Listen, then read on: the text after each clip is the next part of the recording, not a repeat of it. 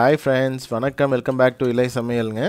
இன்றைக்கி வந்து பார்த்திங்கன்னா ஹெல்த்தியான மில்லட் தோசை எப்படி செய்கிறதுங்கிறத பார்க்கலாங்க ஸோ மில்லட்ஸ் வந்து பார்த்திங்கன்னா நார்மலாக மினரல்ஸ் அண்ட் விட்டமின் ரிச் ஃபுட்டுங்க ஸோ என்னென்ன நம்ம வந்து என்னென்ன மில்லட்ஸ் எடுத்துருக்கோங்கிறது பார்க்கலாங்க திணை சாமை குதிரவாளி வரகு சோளம். இது எல்லாமே ஒவ்வொரு கப் எடுத்துருக்கோங்க.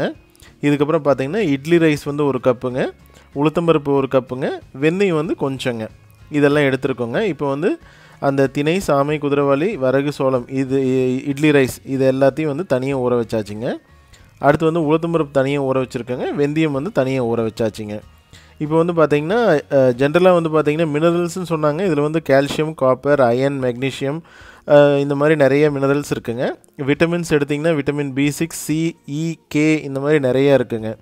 ஸோ நான் நீங்கள் வந்து நார்மலாக ரைஸ் போட்டு நீங்கள் செஞ்சு இட்லி தோசைலாம் சாப்பிட்றதுக்கு பதிலாங்க. இந்த மாதிரி நீங்கள் வந்து டிஃப்ரெண்ட்டாக ட்ரை பண்ணிங்கன்னா டேஸ்ட் வைஸ் நல்லாயிருக்கும். ப்ளஸ் ஹெல்த்தியான ஃபுட்டுங்க கண்டிப்பாக ட்ரை பண்ணி பாருங்கள் எப்படி இருக்குன்னு சொல்லுங்கள்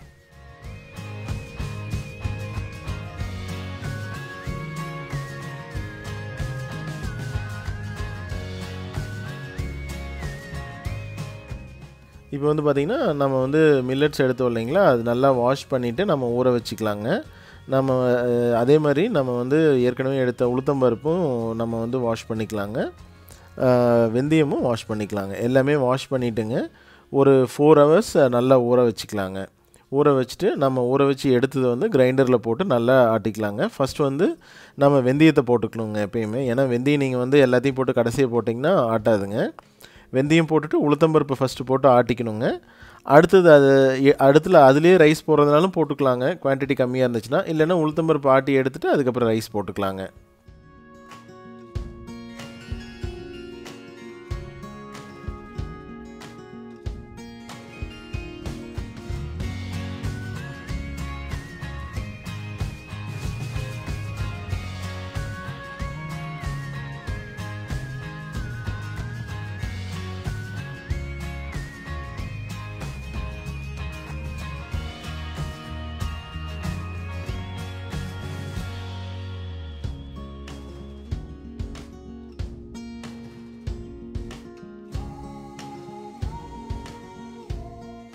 மாவு சூப்பராக ஆட்டியாச்சுங்க.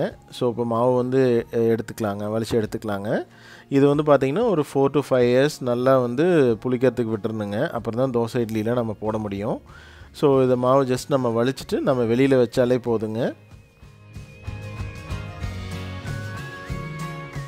ஸோ இப்போ பார்த்தீங்கன்னா மாவு வந்து சூப்பராக ரெடி ஆகிடுச்சிங்க இப்போ வந்து நம்ம தோசை போட்டுக்கலாங்க. இது வந்து நீங்கள் நார்மல் தோசை மாதிரி தான் இருக்குங்க. உங்களுக்கு வந்து அதுவும் கிறிஸ்பினஸ் வந்து செம்மையாக வருதுங்க. ஸோ நாங்களும் இதுதான் ஃபஸ்ட் டைம் ட்ரை பண்ணுங்க. நிஜ நிஜமாலுமே சூப்பராக இருந்துச்சுங்க. நீங்கள் கண்டிப்பாக ட்ரை பண்ணி பாருங்கள் உங்களுக்கு கண்டிப்பாக பிடிக்கும். நீங்கள் ட்ரை பண்ணி பார்த்தீங்கன்னா ட்ரை பண்ணிவிட்டு எப்படி இருக்குன்னு சொல்லி நீங்கள் கமெண்ட்டில் சொல்லுங்கள்